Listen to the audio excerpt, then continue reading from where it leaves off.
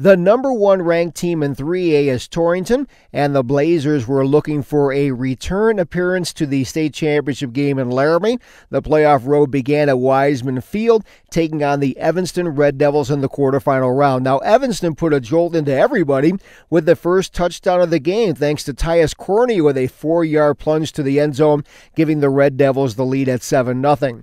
Torrington came right back with a couple of TDs in the first quarter. Casey Britton got in from two yards away and superback Brian Lemon reeled off a 65 yard run for a touchdown, so the Blazers led 13 to 7 after one quarter of play. It was fairly methodical for Torrington for the rest of the game. Lemon had another long run for a TD in the second quarter on a play that covered 32 yards to increase the lead to 20 to 7.